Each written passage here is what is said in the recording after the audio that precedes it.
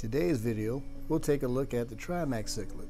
This cichlid has been a staple in the hobby for years, but with the growing popularity of flower horns, it's lost some of its appeal.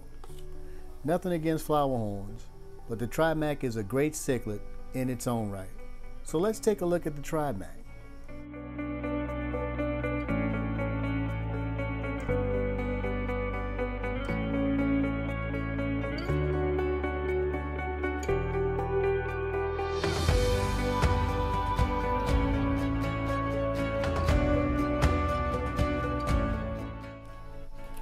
The Trimac is a deep-bodied fish with a green base and red markings near the gill plate and pectoral fins.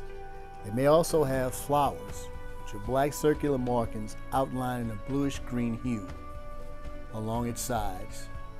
Sexing this species is fairly easy, with males growing much larger, reaching a max size of 14 to 15 inches. Females are considerably smaller, only reaching about 10 inches. Sexually mature, sexually mature males can also develop a nuchal hump.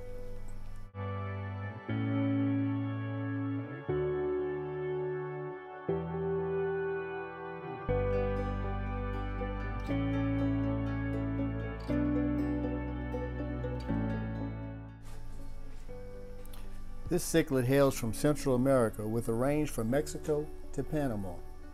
It is part of the Amphilophus complex. Like most of the cichlids in this group, this fish is very aggressive.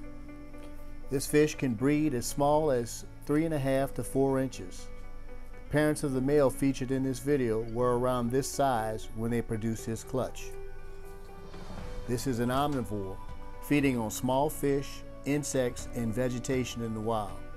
In the aquarium, this cichlid will accept a variety of foods.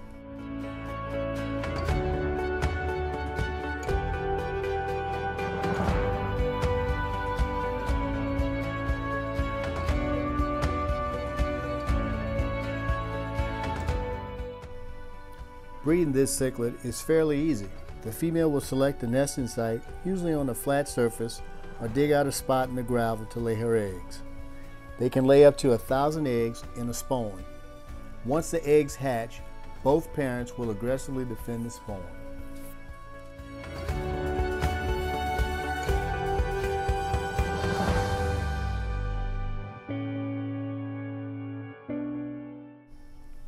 I would house a single Trimac in a 75 gallon tank and 125 gallons would work for a pair. They will do well in a wide range of pHs, anywhere from 6 all the way up to 8. Although not as colorful as some of the other Central American cichlids, the Trimac more than makes up for it in personality and attitude.